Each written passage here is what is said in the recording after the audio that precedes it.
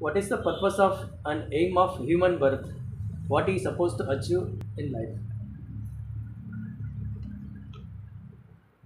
अभी बताया उसी प्रकार जीवन से लेके अंत तक इस जीवन में जन्म से लेके मृत्यु तक जो आप जीवन जीते हो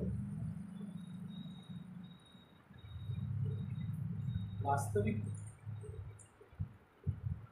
ये आपको दिया गया एक सुवर्ण क्षण, या सुवर्ण संधि होता है। अपॉर्चुनिटी होता है, सुवर्ण अपॉर्चुनिटी। इसका उपयोग आपको मोक्ष मार्ग के लिए उपयोग करना आवश्यक होता है। मनुष्य जीवन का पर्पस यही है कि 84 लाख योनियाँ घूमने के बाद एक ऐसा सुवर्ण आ जाता है कि आपको मनुष्य योनि में आना पड़ता है।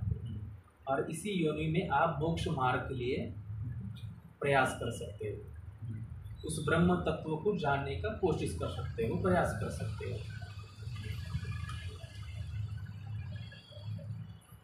मानवीय जन्म बहुत मौलिक है, अद्भुत है। इस सारी योनियों में मनुष्य योनि ऐसी है जो मोक्ष मार्ग के लिए अपने जीवन का उपयोग करके मोक्ष मार्ग को प्रशस्त करती है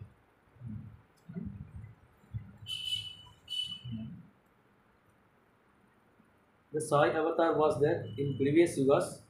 If there, what will be the name of the previous yugas?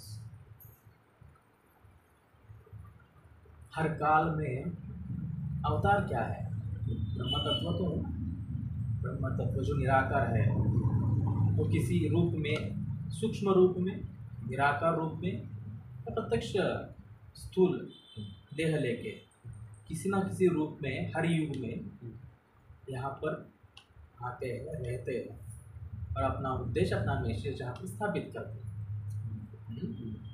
हर युग में हर युग में ऐसा एक भी युग नहीं है कि वहाँ पर ब्रह्म तत्व उपस्थित नहीं है।